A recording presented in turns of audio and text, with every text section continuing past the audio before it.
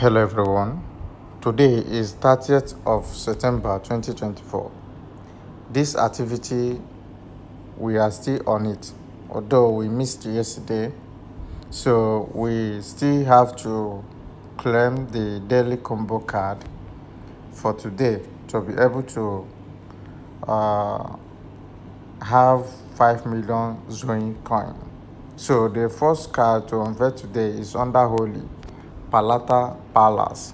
So click on mine and click on Holy, then look for Palata Palace. So this is the first card to claim 5 million Zoe coin. The second card is under Gems. Go to Gems and look for Grey Moonstone. Grey Moonstone. Let's look for Grey Moonstone as the second card for today.